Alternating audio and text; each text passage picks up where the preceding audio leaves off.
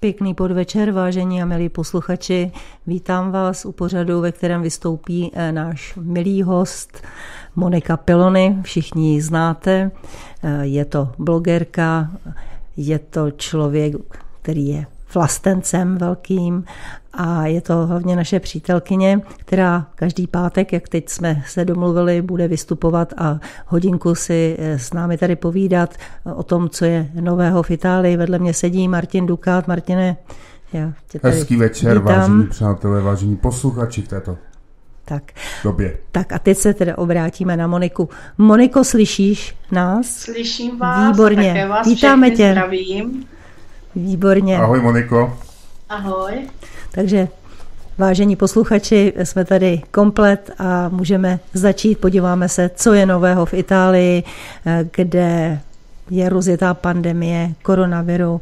Je tam, co jsem se já dočetla, přes 41 tisíc nakažených lidí a co já vidím tady tu mortalitu, tak 3405 byla poslední informace, ale já už dávám slovo Monice, protože Monika je tam v tom centru a sleduje to všechno a má pro vás poslední informace. Takže Moniko, prosím tě, dávám ti slovo. Já ti děkuji. Takže co se týče informací, samozřejmě situace je nadále velice kritická jak jste již mohli všichni eh, sledovat i v médiích eh, v České republice a eh, kdo nás ještě poslouchá třeba i na Slovensku. No, s těma, tu informaci máš správnou, co se týče těch lidí.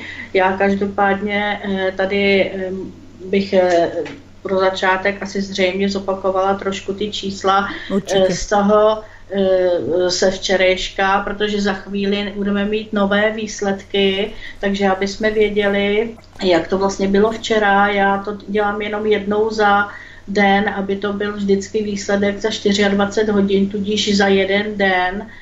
A eh, takže je to takový, eh, co mě napsali lidi, pro ně více přehledný, než teda, když jsem tam ze začátku dávala ty informace o těch číslech, o tom počtu eh, průběžně za den, ale to jsme ještě nikdy netu, nikdo z nás netušil, že to, že to vyroste teda tak strašně nahoru. Ano. Takže já když řeknu ty výsledky teda ze 17. hodiny, kterou, z minu, eh, ze včerejška, vždycky v 18 hodin nám to začne e, předávat ty zprávy civilní ochrana takže celkem nakažených lidí od začátku vlastně eh, epidemie, dnes už pandemie, eh, teda v té Itálii je to vlastně od toho 21.2., tak eh, to máme skoro měsíc, dá se říct, a je to teda s tím včerejším datumem 41 035. Co se týče teda lidí, kteří zemřeli v tak těch je 3405 no. lidí, eh, kteří, eh, kteří se uzdravili, těch je 4440 a momentálně v tuto chvíli k tomu včerejšímu teda datumu bylo pozitivních 33 190. Mm-hmm. Ano, a tam byl právě obrovský nárůst, že tam byl, tam byl počet 5322 eh, lidí, kteří vlastně navršili to číslo na těch konečných 41 035. Je to teda něco strašného. U nás zatím, určitě to také sleduješ, eh, tak je tady Přesně. nakažených 774 Eh, lidí, čtyři se uzdravili a jednoho, toho prvního, myslím taxikáře, tak eh, toho schválili v USA a dostane lék Rendesivir, který mm-hmm. by mu měl pomoci, ale eh, Víš, co je problém? Problém je ten, že eh, lidé, tady počítáme, kolik procent se uzdraví, ti lidé v mnoha případech právě zůstávají poškozeně na celý život. To není jenom no. tak, že se uzdraví a jako ej chuchu a je nám dobře a je to za námi, ale oni si mohou nést následky eh, po zbytek celého života. Ano, o tom jsme právě mluvili ten minulý týden, že přímo v autopsiích, které byly udělány lékaři, tak bylo vidět, jak jsou ty plíce opravdu silně poškozené, takže se předpokládá samozřejmě, že někteří, kteří měli ty, ten průběh těžký, Eh, budou opravdu ty následky eh, nést po celý, po celý život. Mhm. Co je velmi zajímavé, je to, že narůstají právě ty mladší ročníky. Ano. Jak je, jak je to u vás? U nás převažují lidé, kteří jsou eh, mladší 65 let a dokonce i tam je zajímavé to, že ve většině případů jsou to muži. Dokonce v relaci mezi 35 a 44 lety. Eh, jsou to muži v 71 případech. A seniori nad 65 let, tam je 73 případů a převažují muži. Takže takhle to vypadá u nás. Zatím jsou to malá čísla, ale prognóza je, že by do poloviny dubna tady mělo být 15 tisíc eh, případů pozitivních. Eh, ty procenta souhlasí, eh, je to tak, eh, jsou více postižení muži. To se, jsme zjistili také již po týdnu i dvou týdnech a dále, tak ta statistika stále platí, že muži jsou přes 70% postižení a ženy teda ten zbytek. Musím teda říct poznámku, kterou, když toto tyto procenta eh, mi, na, eh, mi napsala kamarádka eh, z Finska, tak teda taky, tak jako já a zřejmě i vy, zjistila, že opravdu jsou postižená jenom tyto dvě pohlaví a celý ten zbytek, jako těch se jich to netýká. Jo. To, to je dobrý. No vidíš to, jak jsme diskriminovaní, my normální. A ano, přesně tak. Jo, to je taková vložka, kterou jsem do toho chtěla vsunout, protože eh, nakonec, když přijde eh, do něčeho vážného, tak eh, se zjistí, že všechno ostatní je absolutně eh, nedůležité. nedůležité. A a, a naprosto vymyšlené, prostě není, naprosto není to podle přírody a, a tady vidíme, že eh, si teda ta příroda eh, nevybí, eh, teda respektive vybírá ty normální.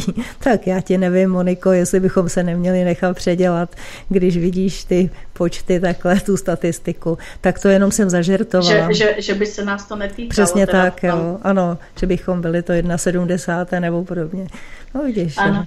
No, Ale... tak teď sleduju, že e, začal mluvit e, teda šéf e, té civilní ochrany, takže mi tady začínají vyskakovat čísla. Mám tady e, vyloženě takový ty e, flash zprávy, e, tady zrovna třeba o té Lombardii, která, která je nejvíce postižená, tak přímo jenom o tomto kraji, který to už jsme říkali, je velký jako Česko, Česká republika, tak eh, během teda toho jednoho dne, těch 24 hodin, tam se navýšila zase smrtnost o 381 osob. Jenom v Lombardii, jo, ne v celé Itálii. Takže jako to je opravdu docela drastický. Eh, minulý týden jsme mluvili taky o tom, a to jsem upozorňovala, že zřejmě se očekával tento eh, týden takový jakoby vrchol, takový to vyvrcholení těch nejvíce, nejvíce případů a že potom možná by to mohlo být lepší, no tak eh, nevěřím tomu. Myslím si, že to takhle bude vrcholit ještě i ten příští týden a možná po těch eh, strikt... Aha, nám to tady Martina vypadlo. Těch opatření. Dobrý. Moniko, vypadáváš nám? Tak, tak jsem přepojil, se nám vypadlo spojení, ne přepojilo. Uvidíme, já zkusím. Jestli náhodou ten Skype není taky napadený Ale koronavirem. Ale není, není napadený. Já to zkusím Moniku teďka vytočit znovu a uvidíme, protože... A, Jestli tam nějaký problém, zatím se nám to ještě nikdy nestalo, takže doufejme, že všechno dopadne dobře. Martin na tom pracuje. Ale tady není na tom, co se na tom tak pracovat, ale tady to prostě vypadlo. No já bych jenom chtěl říct, že jsou případy, kdy lidé nedodržují karanténu a vláda teda u konce už teďka uvažuje o vlastně s dalším zpřísněním, to znamená, že by se nemělo, nesmělo vycházet vůbec ven. Ano, uvažuje se o tom. A že by teda fungovalo jenom to základní zásobování, ale ty k tomu máš, jak funguje to zásobování. No tak zásobování zatím jsme využili, že jsme v době, kdy teda, která byla určená k tomu, že eh, tam mohou eh, výhradně seniori od 65 let, tak jsme to využili. Bylo to tam eh, bylo zaplněno, byli jsme v Penny a samozřejmě, že tam byli také lidi, kteří byli mladší a zřejmě si potřebovali nakoupit. Já jsem poměrně tolerantní člověk, takže to pochopím, že když někdo potřebuje do práce si nakoupit, takže si nakoupí i v době, kdy tedy musí počítat s tím, že tam budou převážně ty seniori, ale co mě teda skutečně velmi zarazilo, že Penny má takové nařízení, že pokud tam někdo přijde bez roušky, takže ho sekuriták u vchodu má pouze upozornit na to, že nemá roušku. A když se ho ten který tam byl v době, kdy jsme nakupovali, když se ho pokusil vyhodit, tak na něj prodavačka od kasy, volala, že mají toto nařízení, že ho má jenom upozornit a nemá ho vyhazovat, což mi teda přijde absurdní, protože když máme nějaké nařízení vlády, tak se má dodržovat a ne, že si řetězec, konkrétně Penny, bude dělat nějaké svoje interní eh, nařízení nebo předpisy o tom, jak se mají chovat eh, k lidem, kteří nedodržejí vládní nařízení. Přišlo mi to Eh, přišlo mi to velice špatné, negativní a eh, lidé by měli se chovat ukázněně a už tím, když teda eh, takovýhle orgán řekne, že je to jedno, tak je to v rozporu. Prostě je to ta nedůslednost, na kterou můžeme velice doplatit. Tak jak to vypadá, Martine? Zatím to vypadá tak, že asi zřejmě u Moniky vypadlo připojení. Ty máš také zkušenosti jak je to vlastně s tím objednáváním potravin přes internet, které je tak proklamované? Mm-hmm. Já jsem ještě chtěla se vrátit k tomu, že 17 března vydala eh, krajská hygienická stanice středočeského kraje upozornění, že nebude informovat starosty obcí nebo eh, eh, představenstvo obcí o tom, že mají v té lokalitě pozitivní případy to znamená lidi nemocné anebo lidi v karanténě, protože se zřejmě obávali, aby někdo tyto lidi nenapadal. Mně to přijde naprosto absurdní, protože naopak informovanost je velmi důležitá, nehledě na to, že eh, starostové nebo obec jako taková může i zařídit eventuálně služby pro tyto lidi, aby nemuseli chodit nemocní nakupovat do obchodu, který je třeba jeden pro celou vesnici, eh, aby tam nemuseli chodit a, a vlastně nakaz, naka, nenakazili další lidi. Takže eh, ta organizace je tady v tomhle směru velice špatná a eh, měly by se tyto věci napravit protože, jak jsem již včera říkala, prevence je vždycky nejdůležitější, takže doufejme, že eh, na kraji pozmění svoje názory a že lidé budou takto informování v tomhle směru. Jinak to, že by si mohli třeba nakoupit z domova online, zaplatit si to a tak dále a zboží by jim bylo přivezeno, tak to je moc pěkný nápad a lze to takto dělat eh, v případě, že si objednáte eh, kosmetiku nebo nějaké zboží, jiné než eh, potravinářské, protože já na vlastní kůži jsem si objednávala eh, potraviny, konkrétně v Tesku a ty doby, kdy vás zavezou, jsou tak zaplněné, že to trvá pomalu tři týdny, než vám zboží přivezou, protože všechny termíny prostě jsou obsazené, ta kapacita tam u tady těch eh, obchodních řetězců není taková, aby eh, tuhle tu kritickou situaci eh, snažili, aby ji teda pokryli svými prostředky, zřejmě dopravou a tak dále. Taky by se v tomhle mělo něco udělat a měli by se právě i ti lidé, kteří jsou nemocní, tak by měli být měla by být nějaká síť, která by pokrývala právě to, aby byli zásobený a aby nechodili mezi normální lidi. Co mě překvapilo, bylo to, když Monika mi posílala eh, nějaké videa, jak jsou tam úplně prázdné eh, ulice, lidé dodržují tu karanténu, nechodí ven. My tady, já to téměř necítím, že by došlo k nějaké změně, protože těch aut tady jezdí stále velký počet, takže mi vůbec nepřipadá, že by nějaká karanténa v tomhle směru byla. To já si nedovedu představit vůbec, eh, jako, eh, že ten stát vlastně, že by se to kompletně všechno zavřelo, respektive dovedu si, dovedu si to představit, nicméně eh, je tady vidět, že ta infrastruktura na to není vůbec připravena a mám takový dojem, že stát na těch nižších úrovních prostě to nezvládá. Hmm. Říkám, vláda se Je snaží. to velice náročné, je to situace, se kterou jsme se nikdy nesetkali, musíme být ohleduplní, musíme uh, respektovat uh, prostě druhé a um, je to na každém z nás, abychom si uvědomili tu závažnost té situace. Ono, když vyjdete ven, já třeba tady před dům, vlastně kde je zahrádka, tak já to ani tak nepocituji. Daleko horší musí ta karanténa být samozřejmě pro lidi, kteří jsou v, mezi čtyřmi stěnami v malém prostoru a dlouhodobě je to velmi náročné na psychiku a e, chápu, že i třeba ti lidé mají intenzivní pocit, že musí někam jít. Říkám, je to skutečně velice náročné.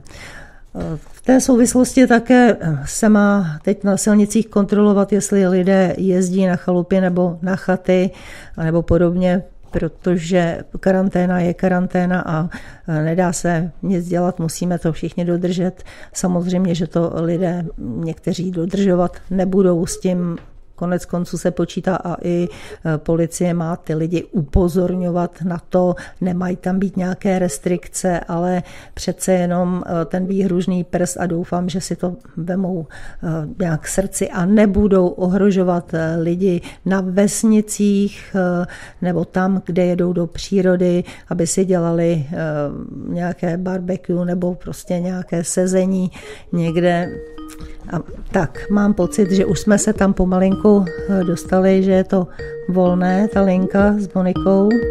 No, co pak volné? Tady jde o to, že zřejmě byl tam nějaký výpadek, takže... Mm-hmm. Takže Itálie má výpadek. Ano. ano, slyšíme se, Moniko. Vypadla si nám zlobý Skype. Jako, eh, ty nebudeš věřit, co mně se stalo, jako. Povídej. Mě to normálně vypnuli a bylo napsané, že mě odpojili z bezpečnostních důvodů. No, vidíš to. A to mm-hmm. mluvíš česky. Kdyby tak to nemluvíš italsky. Jako, no právě pro... jsem z toho úplně jako e, opařená, jako co se tohle to děje, no tak jako doufám teda, že nám teď všem nezavřou hubu, jako.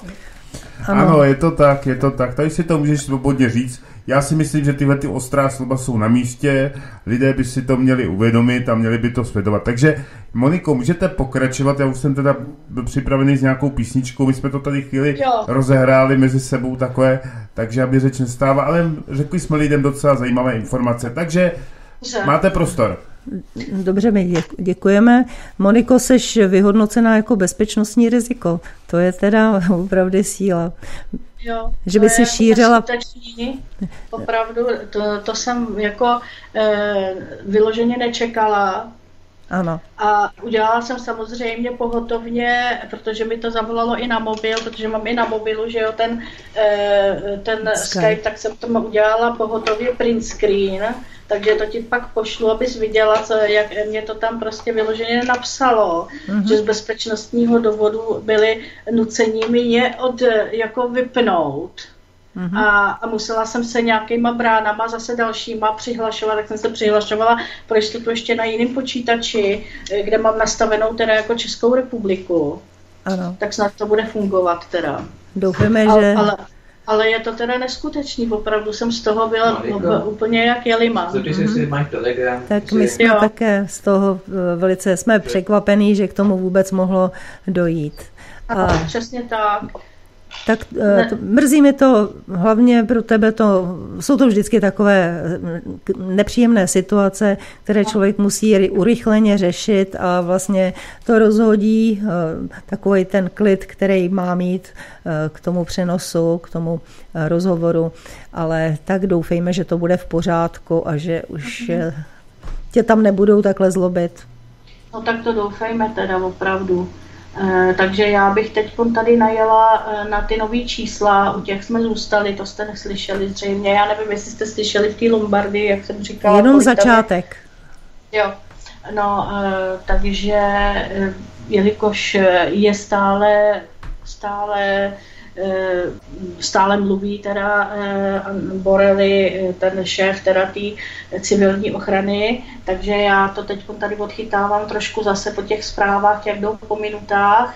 Takže tady napsal Borely teda 5129 osob se Eh, uzdravilo, takže začneme touhletou, teda mluvím teď o celé Itálii a je to zase za 24 hodin, jo, od včerejších 17 eh, hodin, kdy eh, ministerstvo zdravotnictví předává civilní teda ochraně ty, ty oficiální čísla. Takže od včerejších 17 hodin do dnešních 17 hodin se uzdravilo pět, máme tady Máme tady 689, eh, 689 eh, eh, osob víc než včera, to je, takže se nám tady zvyšuje vlastně počet uzdravených lidí oproti včerejšku, kdy teda z předevčíra na včerejšek se se uzdravilo méně, takže teď tady máme dohromady 5129 lidí, kteří se uzdravili od začátku. Teda té pandemie. Máme tady eh, v tuto chvíli eh, je eh, infikovaných nebo pozitivních, můžeme říct, osob v Itálii 37 860 a zase, ale bohužel, je to 4670 víc než včera. Takže roste oboje, eh, jak teda nákaza, tak i teda uzdravování se. Eh, co tady máme, dáme dál. No, celkový číslo teda infikovaných osob jako takových, a to je teda včetně těch uzdravených a, a, z, a, a zemřelých, tak to je 47 021. Eh, kolik jsme říkali, že to bylo včera? Momentík, včera to bylo 41 035 osob. No, tak máme 47 021 mm-hmm. dneska.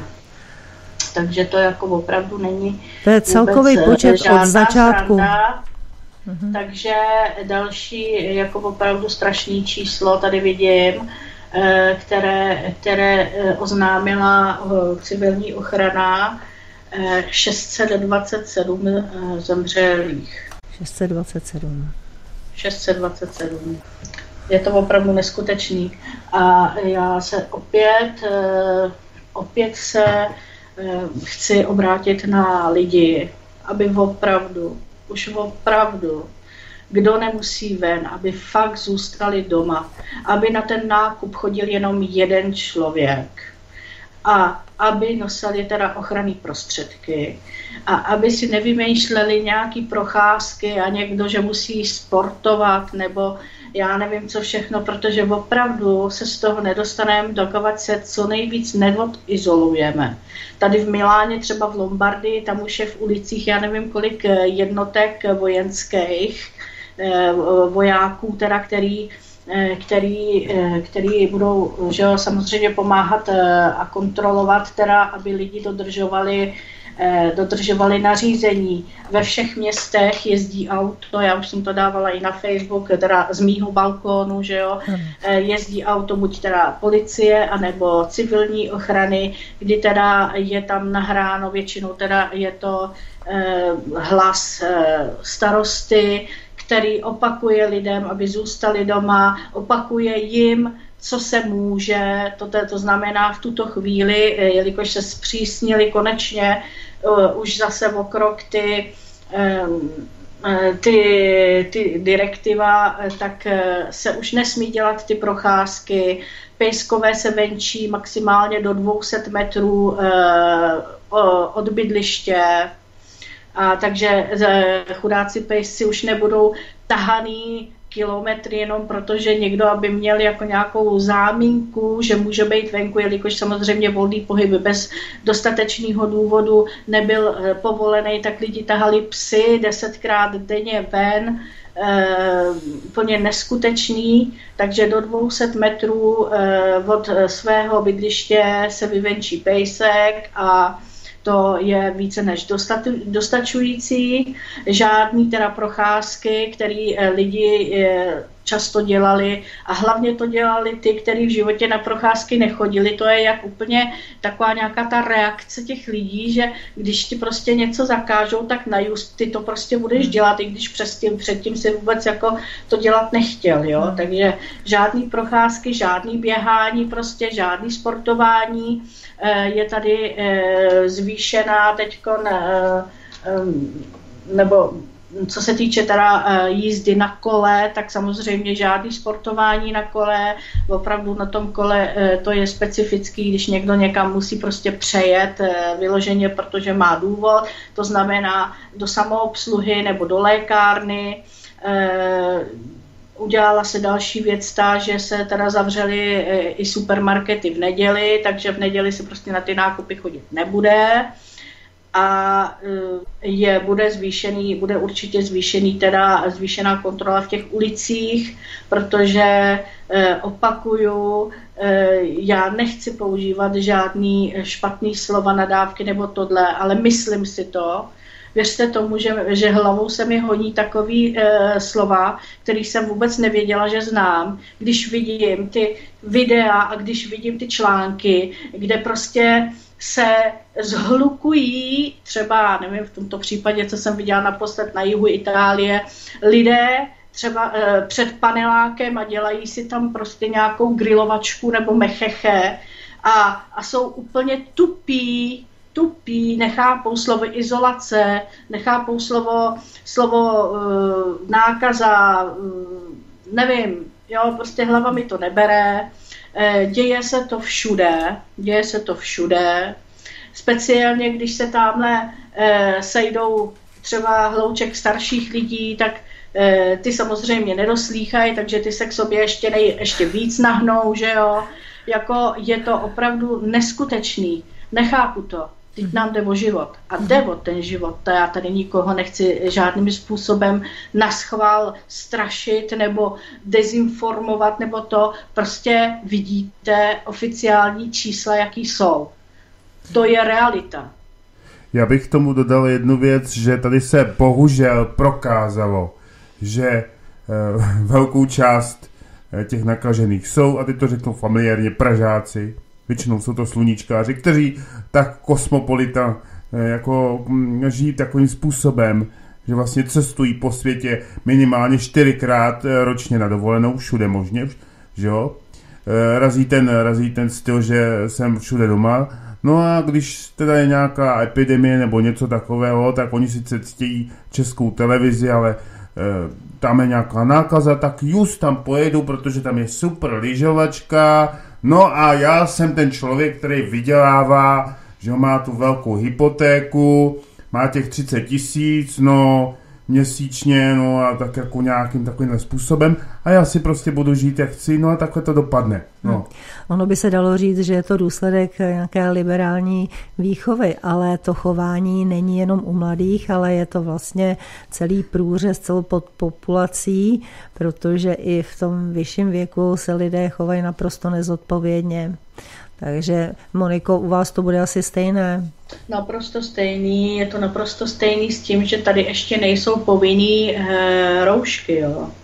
Takže zodpovědní lidi se každopádně e, nasazují. Samozřejmě já třeba budu mluvit o, o regionu, kde žiju, region Veneto, e, kde teda náš guvernér Zája je naprosto skvělý a opravdu od začátku i ty roušky doporučuje. Teď eh, našli možnost eh, něco vyrobit, tady kousek zrovna stále v našem kraji, takže majitel té fabriky daroval asi 2 miliony roušek speciálních ze speciálního materiálu pro lidi z Veneta a takže se to nějakým způsobem bude eh, rozdávat. Samozřejmě nebude to eh, tato první, eh, tato první Márka samozřejmě nestačí na všechny, protože myslím, že, a nechci se teda teď splít, tak myslím, že zrovna kraj Veneto, tam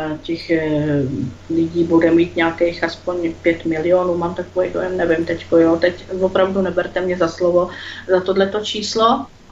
A e, každopádně vidíme, vím, že se to e, nějakým toho ujme zase e, civilní ochrana a samozřejmě se to bude nějakým způsobem rozdělovat i e, teda do různých pracovišť a, a tak dále.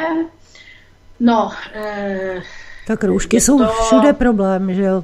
Všude se spekuluje, dokonce jsou spekulanti, kteří na tom vydělávají. Tady u nás taky byly tisíce zabavených roušek v Lovosicích, eh, tak prý to byl ano. čínský dar Itálii a, a, a skončilo to no, teda tak, takhle co mám, co mám teda jako uh, za informace já, tak jako vím, že, že Itálie si, si to zaplatila všude ano. po tom světě, kde to nebylo roz, dodaný teda.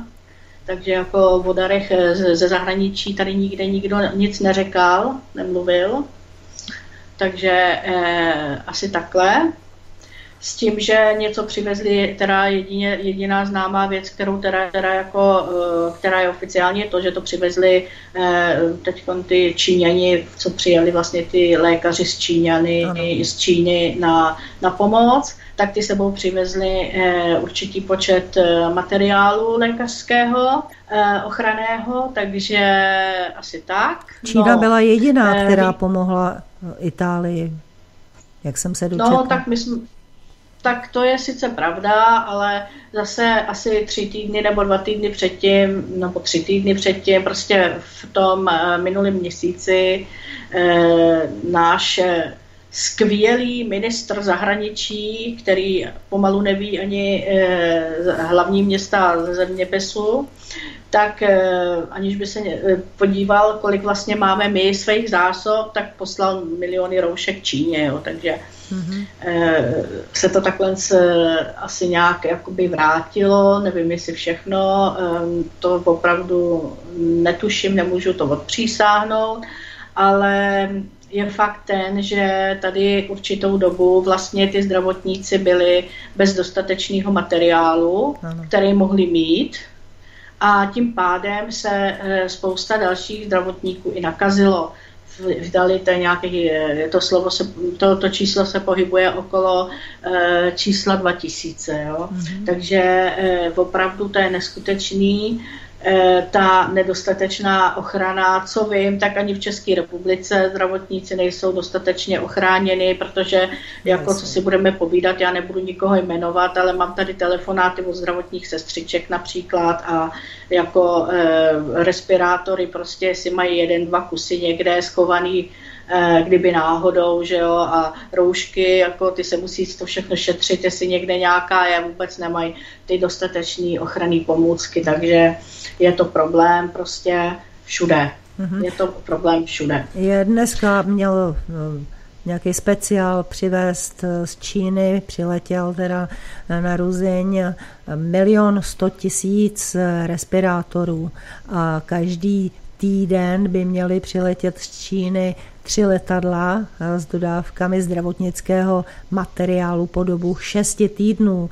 Takže e, musíme poděkovat e, prezidentovi Miloši Zemanovi za to, že myslím si, že to je velká Eh, že mu musíme vzdát čest za to, že se eh, přimluvil u svého přítele prezidenta Číny si a že nějakým způsobem napravili takovou tu reputaci, mm. který tady ty sluníčkoví eh, hlupáci, jako je třeba hřib, to piráti a podobně, co tady způsobili svojí hloupostí. Ano. A přímo nebez, nebezpečnou hloupostí pro nás, pro všechny. No, Přesně ale... tak. Ale oni teďka vymysleli novou věc, nebo teda respektive se toho chytli a i diskutéři na i dnesu to preferují, že všichni bychom se měli povinně nakazit tím koronavirem, že získáme teda imunitu. Jo, a teďka oni mají tu představu, že všichni vlastně de facto to přežijeme a už nebude žádný problém. Takže já nevím, jestli teda jako oni by chtěli riskovat život svých rodičů, prarodičů a tak dále. No mně to přijde prostě něco otřesného. Ale nejhorší na tom je, že teda nevím, jestli jsem teď Soní ti neskočila do řeči, ale jenom bych na to reagovala ano. větou, že oni si myslí, jako, že je to nějaký jako uh, dětský onemocnění, že to chytneš jednou a potom už ne zřejmě, ale pravda je úplně jiná. Mám tady zprávy prostě, že lidi to chytli i víckrát, jo. Ano. Takže eh, to vůbec by bylo úplně na nic, co tohleto jejich celý Eh, riskantní delirium. Mm-hmm. Prosím tě, Moniko, jak se díváte na Německo? No, tak jako na Německo se díváme eh, s bubáckým výrazem, řeknu. No samozřejmě je to tady eh, eh, se celkově se mluví vůbec o celé Evropské unii, že je absolutně eh, neexistující, že nikde nikdo prostě nějakým způsobem eh, nefunguje. Samozřejmě eh, taková ta toho Německa taková ta rezistence, že nic dělat nebudou, jo, no. a nebo Anglie, a teď já nevím, jestli teda máš už tu zprávu, že nakonec i teda Johnson, to, to, tu no. zprávu já jsem dostala před 12 minutama, jak řeklo teda Anglie, že teda mm, prostě jsou připraveni na ty ztráty těch, těch e, slabších obyvatel, no. tak tady máme, jsem dostala zprávu před těma 12 minutama, nebo o kousek, nebo 20, nevím teďko, Eh, že, že teda zavře dneska v noci restaurace, pivnice a i ty takeaway, jo, mm-hmm. restaurace, um, zavře veškerý kina, divadla, obchody a co, bych, co tam bylo ještě napsané, sport, na sportování, jak tomu říká, česky eh, ty různé tělocvičny a kluby, vlastně sportovní kluby. No a eh, kvůli tomu koronaviru, takže už teda eh, zřejmě to tam asi bude pěkný, když teda se odhodlal i k tomu, nevím teda, jaký tam mohly být ještě třeba na něj nějaký, nějaký tlaky, tlaky. Ale já jsem chtěla přímo, jako už jsem to tady sepisovala někam, že teda je bude nutno zatlačit na všechny eh, státy evropský, aby prostě udělali ty různé eh, opatření, protože stejně nakonec uvidíte, že jakmile se neudělá celoevropská karanténa, tak se z toho stejně nikdo nedostane, hmm. že jo. A já si myslím, že nakonec to bude nutný, takže nějaký takový ty postupný a polovičatý nějaký eh, restrikce, akorát eh, prodlužují tu agonii vlastně a chtělo by to, eh, nebude zbytí a opravdu se bude muset udělat ta tvrdá karanténa úplně pro všechny, a tak, jak jsme se mi dívali na ty různé videa v Číně, co se, na což se nám zdálo vyloženě hororová jako situace, že jo, ano. tak stejně nakonec kvůli laxnosti lidí a, a spousta samozřejmě i e, politiků, e, který teda nenakážou nebo nedělají, co mají, e, teď mluvím jako globálně o celé Evropě a můžu říct třeba i o světě, já nevím, jo, ale teď prostě myslím na Evropu, takže, eh, takže stejně jako eh, je to epidemie, je to pandemie a všichni, všichni vždycky věděli, že jakmile je něco takového, takže se prostě musí izolovat vždycky tohle to fungovalo, protože to, že někde bude nějaký lék na to, že někdo onemocní a bude prostě tam nadějte v konci, eh, na, na konci života a bude se zachraňovat a teď jeden lék působí na někoho, druhý nepůsobí na druhýho, eh, to není pře, eh, jako, není, to, není to řešení. Samozřejmě je to dobře, jestliže něco bude fungovat, ano, ale e, my se toho musíme prostě zbavit, my nemůžeme riskovat, protože všichni se do té e, nemocnice nedostanou, aby dostali tu pomoc, protože se to může stát, že e, tak jako se to stalo třeba tady, e, přejdu dál, ano. teda na téma, četla jsem tady, že třeba v Bréše, ve městě Bréša, tam zemřela 48-letá prodavačka, myslím, že to je pokladní, ta paní byla pokladní, pracovala jako pokladní, ano, 48 letá a ta e, pracovala v supermarketu, v Simply marketu v Bréši, ten samozřejmě ten e, supermarket je zavřený, že jo, ale paní e, byla doma, protože měla příznaky, dostala horečku, že jo, no a najednou prostě v noci, když spala, tak se jí ta tak se jí to tak strašně zhoršilo, že prostě zemřela, zemřela do rána byla mrtvá. Takže aby mhm. jestli si někdo myslí, že eh, vy to víte dopředu, že najednou musíte někam běh, běžet nebo ne, jako tady je právě eh, známo po tom, co jsem viděla a slyšela lékaře, viděla ve videích, teda musím říct, že jo, který, eh, který oni točí čím dál tím víc, jako apelace na lidi prostě, že oni už opravdu jsou na konci, konci sil, že už prostě nemůžou. Je tam, byla, mluvila tam paní doktorka eh, tamhle z jednotky intenzivní péče z jedné nemocnice, že, že je naprosto zdrcená psychologicky, protože eh, od nich takový ty případy, které mají naději, odváží pryč a zůstává jim tam ten nejhorší eh, případ vždycky a ještě tam nikdo se jim nepodařilo, aby, aby přežil, takže jo, hmm. jsou to, jsou to strašné situace, neskutečný a e, zrovna třeba tady paní, e, ty prodavačky, které jsou na těch kasách, který, lidi, kteří e, si nemůžou dovolit být doma, a jsou, tam pro, jsou tady pro nás, tak jako když se to vemete, tak jako ty zdravotníci, že jo, dneska, který eh, nedostanou dovolenou, musí být eh, na telefonu, eh, jsou vlastně plně nasazení, tak i ty prodavači v supermarketech jsou vystavení tom, tomu davu lidí, který tam projde, takže si myslím, že lidi by se měli taky nějakým svým určitým způsobem chovat, udržet ty odstupy hlavně, ne, nenamačkat se, nemačkat se tam e, přímo na tu, na tu pokladní. E, to, to jsem viděla tady, že se teda lidi naučili, ale zase jsou tady případy lidských odpadů, to řeknu ano, takhle, ano. protože to jsem četla, co se stalo tady v Mestre, u, u Benátek, že přišly dvě zákaznice do supermarketu a naložili si, že jo, nákup, eh, platili, byli u té pokladny, samozřejmě paní prodavačka je upozornila, aby si udrželi odstup. A eh, víte, co, tato, eh, co udělali? Oni, oni se k ní naklonili a na schválí zakašlali do obličeje. Přitom ta jedna, mám takový dojem, jenom jedna z těch dvou, byla na, na, tom, na těch testech Samozřejmě potom, co teda se tohle to nahlásilo, takže se vyhledal ten její test a samozřejmě byla pozitivní, no, jo. To je hyenismus. Takže tohle jsou hyeny lidský odpad prostě nejhoršího kalibru. Neskutečný, neskutečný. Opravdu hmm. jsem úplně z toho uh, no, v šoku, to je, to je že ještě i takhle naschvál, jo. Mm-hmm. Opravdu to jako nedá se mluvit o tom, že by to byly lidi, to jsou opravdu hyeny odporný.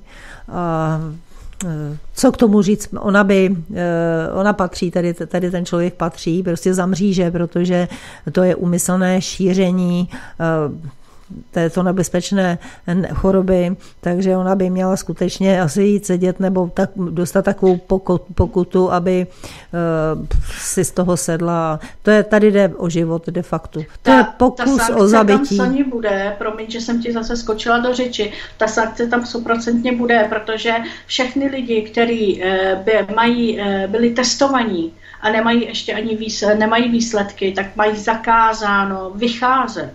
Mm-hmm. Takže tím se to ještě zhoršuje, ta její pozice.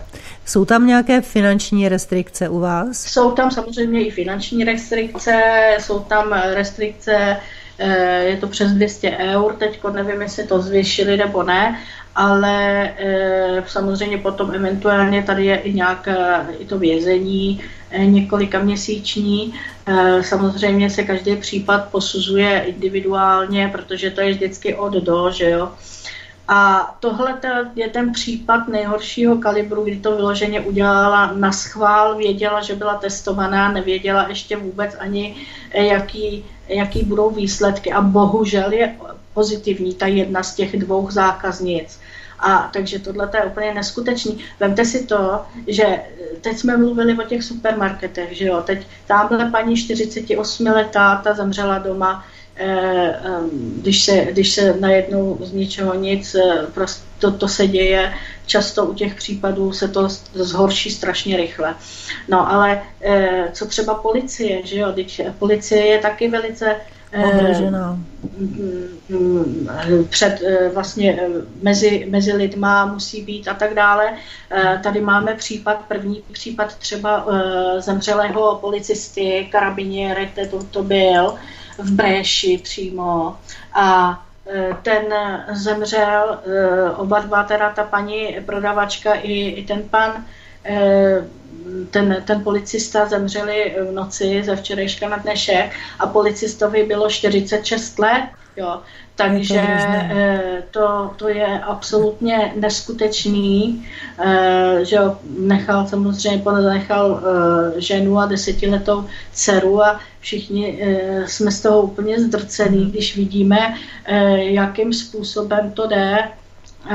Zvyšuje se to je to, je, to, je to opravdu taková dost velká bezmoc a jediný, co můžeme udělat, je to sedět na tom zadku doma. Hmm. My jsme viděli, myslím včera, že to bylo na YouTube eh, video, eh, kdy na Bulovce eh, u jednoho, u jednoho mladého člověka zjistili, že je pozitivní a tady ten člověk si představ, Moniko, že utekl z nemocnice.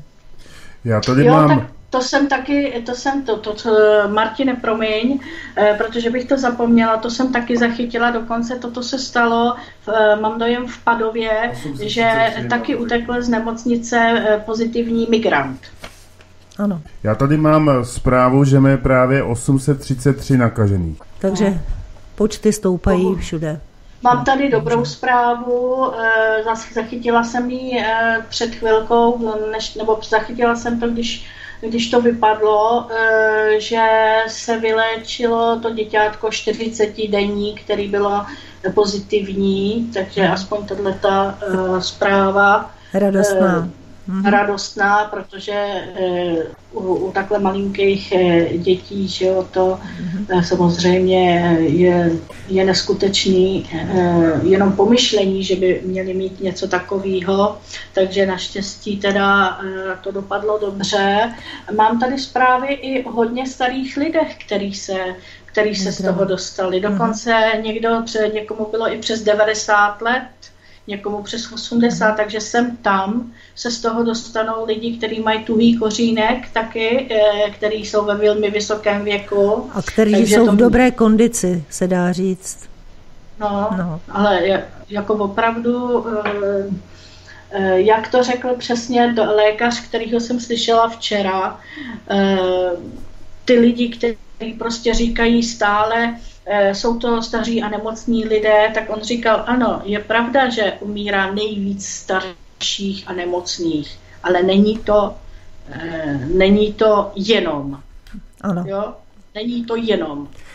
Moniko, ještě při té příležitosti se tě eh, chci zeptat, co se týká toho zdravotnictví. Četla jsem článek, že italský lékař že objevil nebo zjistil, že lék, který je proti artritidě. Já jsem, bohužel jsem si to neuložila, ten článek, to jméno jsem, e, neznám to jméno, ale tady ten doktor to testoval na nějakých případech a na všech velice dobře to zabíralo a ty, ti lidé se vyléčili. Takže to, mi to přišlo, to že je to nadějný, že lidé přijdou na na něco, eh, co by eh, zabralo nebo pomohlo jim natolik, že by se rychleji uzdravovali a třeba i se zlepšila jejich imunita. Ano, je to pravda. Eh, mluvil o tom i náš guvernér Zája, že se zahrne i tento lék do, do léčby. Samozřejmě je to vlastně individuální podle toho stavu toho pacienta a podle toho, co má a nemá a jaké léky bere, že jo takže vždycky jako jeden lék nemůže působit na všechny, protože tam jsou samozřejmě i kontroindikace, jestliže máte i jiné léky, tak z toho to, to, to taky lidi musí eh, brát v potaz. Každopádně eh, je pravda ta, že to eh, zabralo dobře na Eh, pacienty, eh, který eh, opravdu tak nějak se už nevědělo, co jim dát, takže tím způsobem, že ty lékaři opravdu to je jako sázka do loterie, co mají, co mají a co i vyhodnotí a co by tak nějak mohli dát tomu dotyčnému, takže takhle se přijde na to, co by mohlo zabírat více a co zabírá méně. Takže tento lék proti té artróze, ano, samozřejmě je to naděje, že Eh, to určitě u někoho eh, zabere lépe než, eh, než cokoliv jiného. Takže mhm. doufejme, doufejme že, že to zabere u co, u co nejvíce lidí. Mm-hmm. Ještě jsem se tě chtěla zeptat, jestli jsi náhodou neviděla nějaká videa s doktorkou Soňou Pekovou, která je v nestátním zařízení, v laboratoři. On je to tady kousíček od nás na Kladensku. A tady ta paní doktorka je skutečně odborník, člověk fundovaný a v té laboratoři ona vlastně si hm, ten přesně to pojmenovala, že tady ten koronavir, že to je vlastně SARS, tak jak jsme si říkali, Eh, no. pomlčka VID2 a také zjistila, že podle té struktury toho, jak reaguje, takže tento vir je uměle vytvořený. Že no, ano. Samozřejmě, eh, to je to, co se ví prakticky od začátku, že je to SARS-CoV-2. To je totiž oficiální název této, to, této nákazy, když tomu tak budu říkat, mm-hmm. jo, ne, nechci se splít eh, v ně, nebo zaplít do nějakých odborných názvů, který, který, eh, který neznám, protože samozřejmě lékař nejsem, ale to, že je to Eh, vlastně ten vir pomenovaný jakoby COVID-19, protože eh, se, že jo, v tom roce 2019 tam se to našlo, ale je to, je to SARS-CoV-2, to, to je to, co furt každému říkám. A zajímavý je přesně ta reakce těch lidí, že když řeknete někomu koronavir, tak to s ním nic nedělá. Když řeknete COVID-19, no tak prostě říká, jo, tak se jmenuje ten koronavir a najednou řeknete prostě SARS-CoV-2 a najednou prostě vidíte, jak ty lidi koukají a, a, a zdá se jim to teda, že je to něco vážného, protože o SARSu se říkalo, že to bylo, e, že to bylo těžký, že jo. No, takže e, a furt je to to samý, že jo, ale mm-hmm. samozřejmě koronaviru je se celá řada, že jo, tohle to je specifický nový koronavir, který e, teda e, samozřejmě byl určitě v té laboratoři e, upraven nějakým způsobem upravený, protože mm-hmm. spousta virologů, nejenom paní doktorka, samozřejmě, která teda řekla pravdu, ale i tady a všude jinde virologové, já se, eh, samozřejmě to není můj názor, já eh, tady říkám to, co jsem viděla ve videích a četla eh, od odborníků, od vědců, odborníků, virologo, virologů a lékařů, že se ten vir nechová úplně tak, jak by se choval, kdyby byl přírodního rázu. Tohle to všichni říkají. Ano. Takže já to jenom překládám. Mm-hmm. Přesně tak. Oni, ona to tam vysvětlovala, že prostě to nejdůležitější místo v tom viru, uh, takový ten velím, takže vlastně se tam tam dochází úplně k jiným situacím, než u těch přírodních virů, tak jako jak to mají zmapovaný, že to je naprosto uvnitř nějak destruovaný a že tam může eh, dojít k tomu, že to zmutuje nějakým, eh, nějakým způsobem, takže ne, vůbec nevědí, jak se zachová eh, v takovém množství populace, tak jak vlastně ten vir se má, má možnost teďka projevovat, tak nevědí, jak vlastně se zachová. Eh, což Přesně je velice tak. nebezpečné. Přesně tak, nikdo ten věr úplně nezná až tak, eh, aby věděl, co bude dál a jak se to bude chovat, takže eh, zase, jak vidíš, jediný, jediná jasná věc, která se dá udělat, je prostě se pokud možno odizolovat nebo jak buď teda doma, nebo těma mm-hmm. různýma opatřeníma bezpečnostníma a snažit se teda tím pádem svým chováním nedostat do rizika své rodiče, mhm. prarodiče, kteří jsou samozřejmě díky imunitě náchylnější, starší lidi, že jo, a, a, děti a tak dále. Prostě může to dostat dokoliv, kdykoliv, nikdy nevíte, jak to na, na, to, na tom s tou imunitou budete. Mm-hmm. Moniko, vzhledem tomu, že už pomalinku se chýlí náš čas ke konci, moc mě mrzí, že došlo k tomu výpadku. Já během eh, doby, kdy jsi byla, eh, nebyla online, tak jsem eh, právě říkala našim posluchačům, jak to vypadalo v Penny, kde jsme byli nakupovat, takže tady tu informaci, ano. o které jsme se bavili, jsem jim předala. Jinak za chviličku už se nám naplní čas. Já jsem ti chtěla moc poděkovat za všechno, za to, že eh, nás takhle informuješ, máš ty poslední čísla, že jsme vlastně první, kdo to může šířit do eteru a že jsme s tebou ve spojení. A přesně tak, že jsme na jedné lodi, víme, že eh, cesta z toho vede, že to je na každém z nás, aby byl ukázněný. A já jenom jsem tě chtěla ještě požádat, jestli za týden si to zopakujeme a uděláme si zase hodinovku o tom, jak se u vás vyvíjí situace a také u nás, jak eh, vlastně to probíhá, protože, jak jsem říkala, jsme na tom všichni stejně.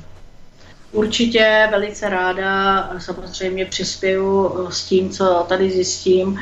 Eh, třeba to někdo bude moc použít, někdo, kdo nás uslyší i ke svému výzkumu. Dobře, takže já Zdravím všechny naše posluchače, za chvilku vás čeká pořád s Vladimírem Kapelem. Moniko, tobě jsem chtěla moc poděkovat za vystoupení u nás, také se tady eh, lučím i na chvilku s Martinem. Martine, rozluč se prosím je, tě. Měj se hezky, Moniko, a držíme palce. Dobře Děkuju. a těšíme se, že se uslyšíme za týden. Vážení posluchači, mějte se fajn a příjemný poslech dalších pořadů vám přejeme ze studia Kladno. Naslyšenou. Naslyšenou. Naslyšenou.